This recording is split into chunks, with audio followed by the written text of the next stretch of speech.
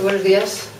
El motivo de la rueda de prensa de hoy es trasladar a la opinión pública un hecho absolutamente lamentable ocurrido en el Centro de Protección Animal de San Bartolomé el pasado 21 de enero. Un centro que según el concejal responsable, el señor Ortiz, iba a ser un centro puntero, un centro de referencia, un centro que nos iba a convertir en una ciudad emblemática en la defensa de los derechos de los animales. Porque según él ha anunciado en repetidas ocasiones, iba a ser un centro que iba a hacer mucho más que cubrir esa función básica de acogida y protección de los animales.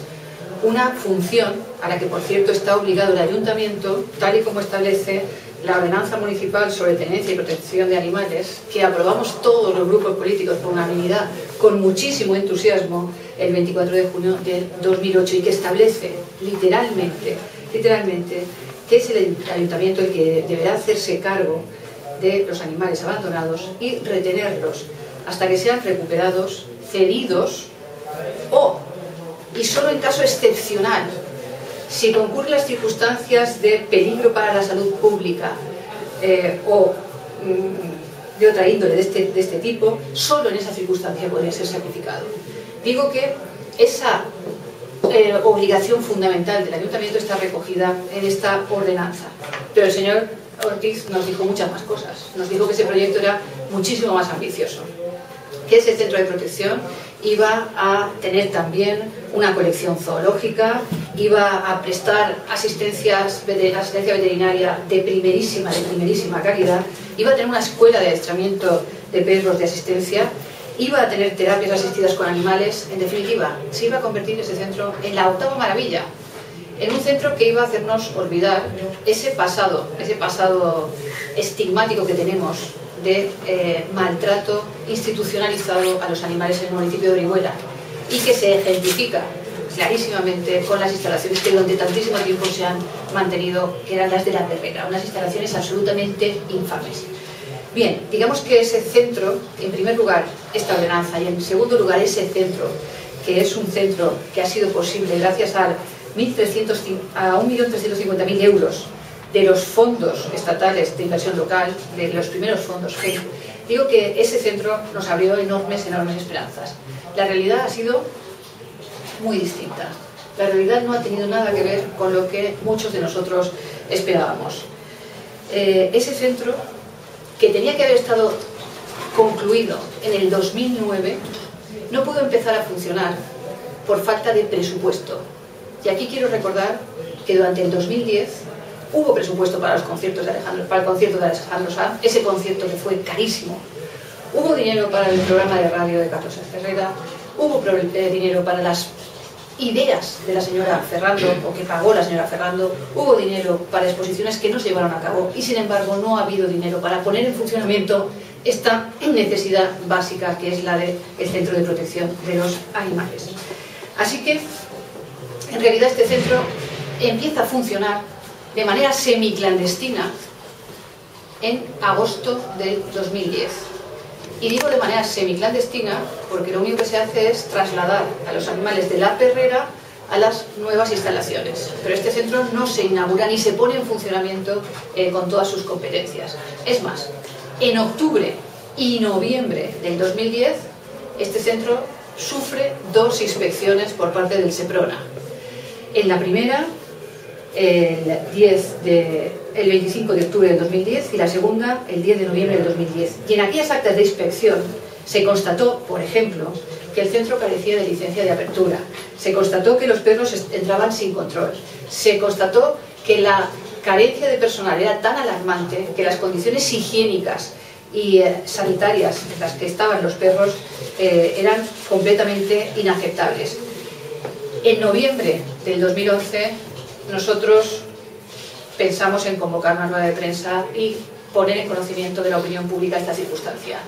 Esta era la situación de los animales del albergue, del centro de protección, en noviembre del 2010.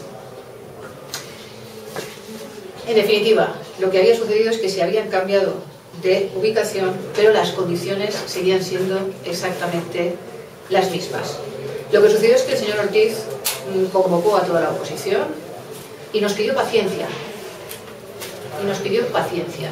Se comprometió con nosotros a resolver el problema de la limpieza en una semana y nos aseguró que en enero del 2011 el centro estaría en funcionamiento con las condiciones que habían sido estipuladas. la historia que les voy a contar es, y digo, quiero recalcar, hemos tenido paciencia, hemos tenido mucha paciencia, pero la historia que les voy a contar hoy, que es una historia que les vamos a contar, que es una historia que ha sucedido el 21 de enero del 2011, ha hecho que toda nuestra paciencia termine y esto es algo absolutamente insoportable.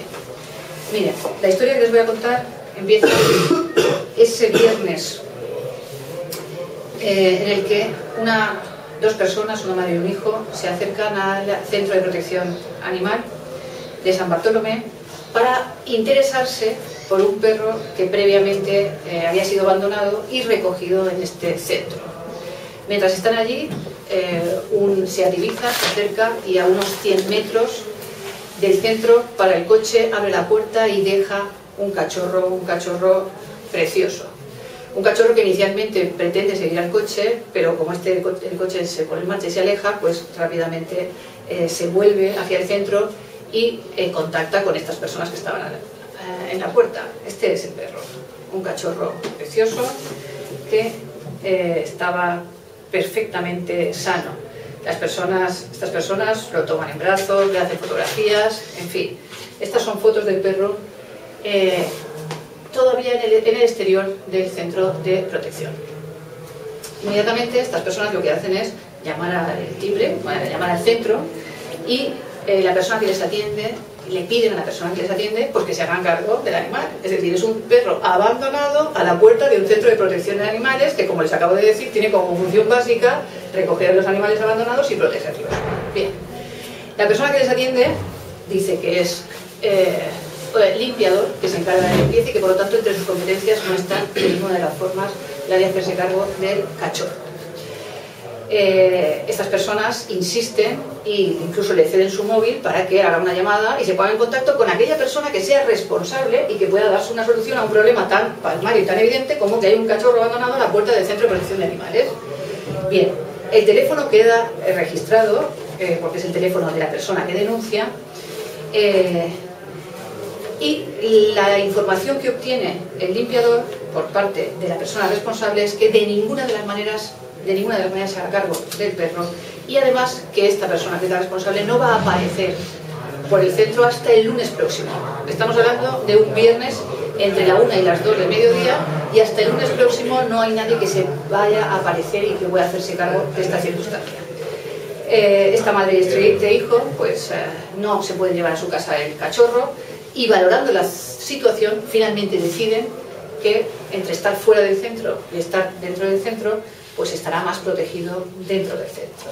Así que lo que hacen es cuidadosamente depositarlo en el patio del centro de protección y lo que sucede a partir de aquí voy a leérselo literalmente y está recogido en una denuncia con fecha 11 de febrero del 2011 eh, que eh, consta en los eh, registros municipales. Les leo literalmente. A partir del momento en el que eh, han depositado el cachorro. La persona declara que simulamos marchar, alejándonos solamente por unos minutos para aparcar a unos 200 metros y caminamos de vuelta al centro a pie para ver si alguien se había hecho cargo del animal. Que yo personalmente vi a un hombre con bigote de unos 50 años, vestido con un mono o uniforme azul y guantes blancos, dirigirse hacia el perro y agacharse por unos momentos sobre el animal, pero no pude ver con exactitud lo que hacía aunque seguidamente debía alejarse, pero sin el perro. Al avanzar y acercarme más a la altura de donde se encontraba el perro, me di cuenta de que el animal yacía muerto en un charco de sangre. Sacamos fotografías de toda la secuencia, las cuales adjuntamos a esta denuncia. Estos son los hechos. Esto es lo que sucede a un cachorro que queda a la puerta del centro de protección animal y que posteriormente es introducido supuestamente por su seguridad y acaba en esta circunstancia. Miren, estos son los hechos. Yo no voy a hacer, yo no voy a hacer hoy valoraciones. Si quiero decirles que yo tendría muy claro ya lo que habría hecho si fuese la responsable, si fuese el señor Ortiz, y que vamos a esperar a ver cuáles son sus explicaciones, vamos a, explicar, a esperar a ver cuáles son sus aclaraciones, que de hecho yo esta mañana he intentado ponerme en contacto con él y no ha sido, no ha sido posible, pero en fin, esperamos recibir sus explicaciones y que en cualquier caso si estas no se producen, pues en el próximo pleno que será el lunes, pues ya tomaremos las determinaciones que consideremos oportunas. Nos parece increíble, increíble que un acontecimiento de este tipo pueda suceder en nuestro centro de protección animal. Ese centro que nos ha costado más de un millón de euros, ese centro que prometía ser puntero, que, pretendía ser pues, un paradigma de lo que es la defensa de los derechos de los animales. Y me acompañan en la mesa pues, Juan y Simón y eh, Victoria Peña, que son las dos pues, miembros de distintas protectoras de animales y que llevan pues, muchos años trabajando en este asunto y a las que siempre tenemos que agradecerles pues, esa tarea tan desinteresada y tan importantísima que hacen durante tantos años y con tanto esfuerzo. Y yo quiero pues, que ellas también les cuenten cuál es su visión de los hechos y qué es lo que consideran a propósito de esta circunstancia. Bueno, en caso nuestro, este, estas personas estaban muy disgustadas, se acercaron a la protectora pidiendo ayuda de que cómo podían poner una denuncia porque ellos estaban preparados a hacer algo, que lo que habían visto lo habían visto, no ha, no ha sido un invento, sino que estaban allí muy presentes. Una de las cuestiones, claro, nosotros no estamos acusando a nadie en particular, pero las preguntas que se pueden hacer es, la primera, ¿por qué se negó la acogida de este cachorro al Centro de Protección Animal? ¿Por qué la persona a la que se contactó por teléfono dijeron que no se cogiera este animal y que no volverían hasta el lunes, que allí no habría nadie. Entonces, supongo que sería con una intención de que las personas que encontraron al cachorro se lo llevaran. Pero esto no era lo que querían hacer. Lo que querían hacer, porque estaban allí para otra razón, era que se encargaran en el centro de protección animal de este cachorro. ¿Por qué una vez muerto dentro del recinto no se llamó a un veterinario? Porque parece ser que en principio una señora, una chica alta de unos 30 años, ¿por qué lo describen en la denuncia? Se acercó al animal, le levantó por las orejas y dijo algo como mala comida. Porque estos señores son extranjeros, hemos tenido que coger traductores para poder obtener toda la información. Después, seguidamente, em, fueron a buscar un saco y llevaron al animal, se lo metieron en el saco. ¿Por qué entonces cuando sucede una cosa semejante que no tiene, parece ser, explicación? Porque allí no hay coches, allí no hay nadie, nadie, no había personas, más que una persona que se observa aquí en una de las fotografías en el edificio se veía una persona, pero difícil por la distancia, que no haya llamado la persona encargada que llegó a los pocos minutos, o sea que no es que no vinieran hasta el lunes, sino que llegaron entre una y dos, porque en aquel momento que vieron el animal muerto no llamaron a un veterinario para averiguar por qué había muerto este animal, que está rodeado de sangre, pero sangre oxigenada, sangre reciente, sangre de los pulmones, porque un corte, una herida, o, no sucede esto.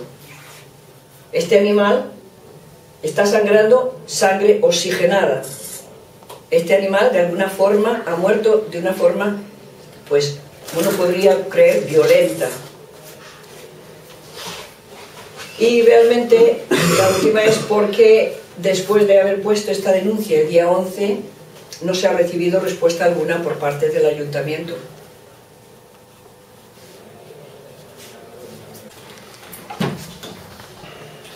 Bueno, nosotros eh, lo que queremos mm, realmente es hacer justicia por la muerte de este animal y queremos saber eh, qué le sucedió al animal, qué le causó la muerte y por qué se negaron a recoger este animal.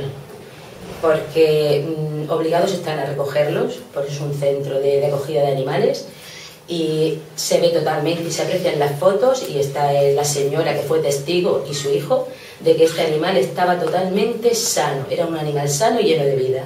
Quiero decirte que estuvo corriendo fuera del recinto y luego dentro del recinto. ¿Qué le provocó la muerte? Vamos a llegar hasta el final, queremos saber, queremos respuestas. Hay cámaras que estaban grabando eso, por supuesto. Si tienen que abrirlas, que las abran. Esto no lo vamos a dejar así, desde luego porque se supone que es un centro de recogida de animales para salvarle la vida. Y sin embargo le ha causado la muerte a este cachorro. Es lo único que queremos, hacerle justicia a este animal y saber verdaderamente cuáles fueron los motivos que lo llevaron a la muerte.